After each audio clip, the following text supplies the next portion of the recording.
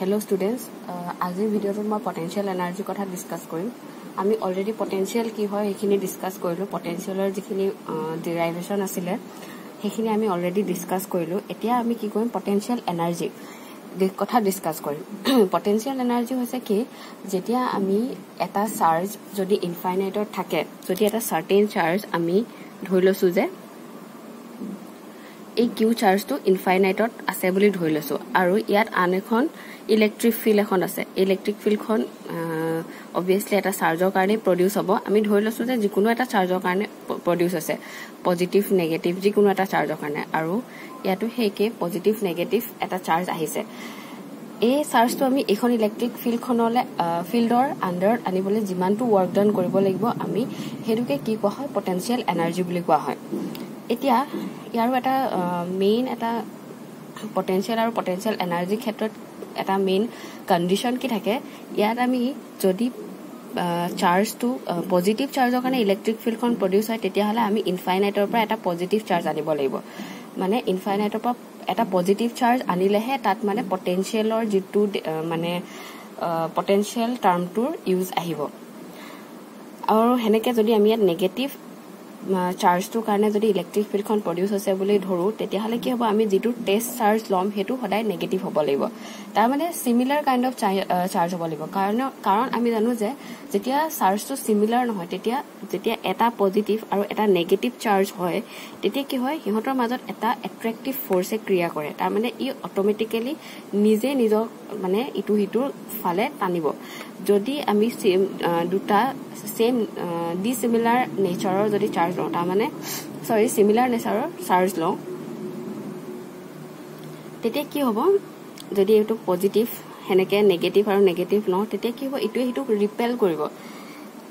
এতিয়া আমি ইয়াত কি কৈছোঁ ইয়াত মই ফাৰ্ষ্টে লৈ লৈছোঁ যে এটা পজিটিভ চাৰ্জে লৈছোঁ আৰু এটা টেষ্ট চাৰ্জটো আমি পজিটিভ আনিছোঁ। ত' ই ওচৰলৈ আনিবৰ কাৰণে আমি তাক এটা এক্সটাৰ্নেল এক্সটাৰ্নেল ৱৰ্ক ডাউন কৰিব লাগিব। কাৰণ কেলৈ যিহেতু এই দুটা ছেম কাইণ্ড অফ চাৰ্জ ত' তেতিয়া কি হয় ইটো সিটোক ৰিপেল কৰিব। মানে ৰিপেল কৰা মানে কি নিজৰ পৰা দূৰলৈ পঠিয়াবলৈ চাব। মানে ইহঁতৰ সেই ৰিপেলচিভ ফৰ্চটোৰ কাৰণে ইহঁতি নেচাৰেলি কি কৰিব নিজকে নিজৰ ফালৰ পৰা ইহঁত চাৰ্জটোক আঁতৰাবলৈ চাব। তো তেতিয়াহ'লে আমি এতিয়া এই চাৰ্জটো ইয়াৰ ওচৰলৈ আনিছোঁ। তাৰমানে কি ক'ব এক্সটাৰ্নেলি এটা ৱৰ্ক ডাউন কৰিব লাগিব। সেই ৱৰ্ক ডাউনটোকে কি কোৱা হয়? পটেঞ্চিয়েল এনাৰ্জি বুলি কোৱা হয়। আৰু এটা ডিফাৰেঞ্চ কি হয়? পটেঞ্চিয়েল আৰু পটেঞ্চিয়েল এনাৰ্জি মানে টাৰ্মটো একেই হয়।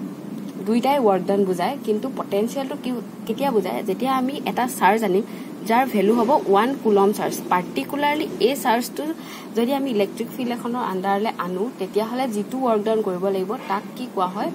পটেঞ্চিয়েল বুলি কোৱা হয়। আৰু যদি ওৱান কুলম চাৰ্জ নহয় টু কুলম থ্ৰী কুলম সেনেকুৱা যদি চাৰ্জ যদি আনো তাৰমানে আমি পাৰ্টিকুলাৰ ভেলু যদি ওৱান কুলম চাৰ্জ লওঁ তেতিয়া তাক কি কোৱা হয়? পটেঞ্চিয়েল বুলি কোৱা হয়।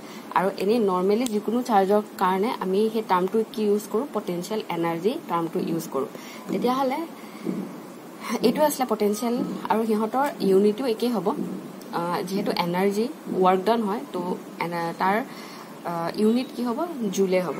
এতিয়া আমি এটা এক্সপ্ৰেশ্যন ডিছকাছ কৰিম।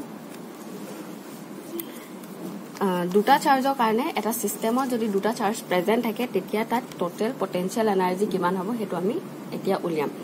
এতিয়া আমি লৈ লৈছোঁ ফাৰ্ষ্টে দুটা চাৰ্জ কিউ ইয়াত কিউ ওৱান লৈ লৈছোঁ এইটোত কিউ বি লৈ লৈছোঁ কিউ টুটোত কিউ টু চাৰ্জটো বি পইণ্টত লৈ লৈছোঁ। ফাৰ্ষ্টে আমি কি কৰি লৈছোঁ এই কিউ ওৱান চাৰ্জটো অলৰেডি এ পইণ্টটোতে আছে বুলি ধৰি লৈছোঁ।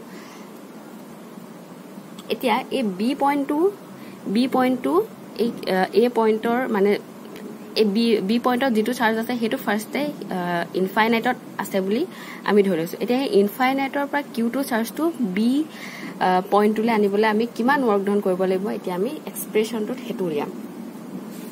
সেইটো কেনেকৈ উলিয়াম? এতিয়া আমি ইয়াত ধৰি লৈছোঁ ফাৰ্ষ্ট টাইম এই পইণ্টত কিউ ওৱান পইণ্টটো কিউ ওৱান চাৰ্জটো আছে বুলি ধৰি লৈছোঁ আৰু লৈ লৈছোঁ যে ইনিচিয়েলি বি বি পইণ্টত থকা মানে বি পইণ্টলৈ আনিব লাগিব আমি চাৰ্জটো আৰু ইনিচিয়েলি কিউ টু চাৰ্জটো ক'ত আছে? ইনফাইনাইটত আছে।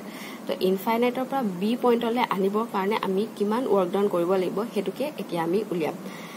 আমি আগতে এটা ফৰ্মুলা পাইছিলোঁ ফাৰ্ষ্ট ফাৰ্ষ্ট যেতিয়া সেইটো কি আছিলে? W equal to Q V এইটো ফৰ্মুলা পাইছিলোঁ। এতিয়া আমি এইটো ফৰ্মুলাৰ পৰাই উলিয়াম। এতিয়া এই পইণ্টটোত এই পইণ্টটোত কিমান হ'ব পটেঞ্চিয়েল পটেঞ্চিয়েলটো কি হ'ব? যদি এই এই পইণ্টত কিউ ওৱান চাৰ্জটো আছে তো ইয়াৰ চাৰিওফালে এখন ইলেক্ট্ৰিক ফিল্ড মানে এখন ইলেক্ট্ৰিক ফিল্ড প্ৰডিউচ কৰিব। যদি আমি এটা পইণ্ট চাৰ্জ যদি মানে ওৱান কুলম চাৰ্জ যদি এইটো এইটো পইণ্টলৈ আনো তেতিয়াহ'লে আমি অলৰেডি ফৰ্মুলাটো পাই থৈছোঁ কি আছিলে one by four pi epsilon naught Q one by R ইহঁতৰ মাজৰ যিটো পইণ্টত আমি পটেঞ্চিয়েল কেলকুলেট কৰিব লাগিব সেই পইণ্টটোৰ পৰা কিউ ওৱানৰ ডিষ্টেঞ্চটো আৰ বুলি ধৰি লৈছোঁ। এতিয়া এইটো ওলালে। তেতিয়াহ'লে আমি এই কিউ টুৰ কাৰণে কিমান ৱৰ্ক ডাউন কৰিব লাগিব? কিউ টু চাৰ্জটো বি পইণ্টলৈ আনিবলৈ কিমান ৱৰ্ক ডাউন কৰিব লাগিব? W equal to Q two V ইয়াত সদায় আহে যিটো আনিম চাৰ্জ টেষ্ট চাৰ্জ আৰু ইয়াত যিটো আহিব ইয়াত চ'ৰ্চ চাৰ্জটো আহে। সেনেকৈ মনত ৰাখিবা। তেতিয়াহ'লে আমি কি পাম? ইয়াত যদি ভিৰ ভেলুটো বঢ়াই দিওঁ কাৰণ কেলৈ এই ভিটোৱে কি বুজাইছে পটেঞ্চিয়েল এট পইণ্ট মানে এই পইণ্টটোত থকা কিউ ওৱান চাৰ্জৰ কাৰণে পটেঞ্চিয়েলটো বুজাব। এই কিউ ওৱান চাৰ্জৰ কাৰণে যিখন ইলেক্ট্ৰিক ফিল্ড প্ৰডিউচ হ'ব সেই ইলেক্ট্ৰিক ফিল্ডখনত যদি আমি ওৱান কুলম চাৰ্জ আনো তেতিয়াহ'লে যিমান ৱৰ্ক ডাউন কৰিব লাগিব সেইটোৱে কি বুজাইছে ভি। ভিটোৱে বুজাইছে। তেতিয়াহ'লে আমি ফৰ্মুলাৰ পৰা পাই থৈছোঁ যে W equal to Q V তাৰমানে Q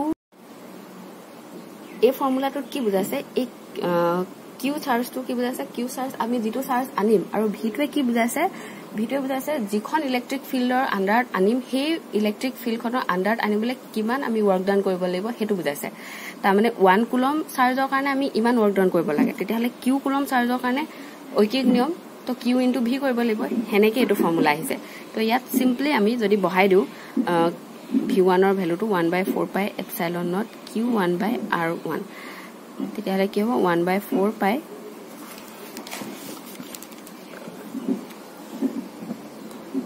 epsilon naught Q one Q two by R. তো এইটো ফৰ্মুলা আহিলে। তাৰমানে এইটো কি বুজাইছে?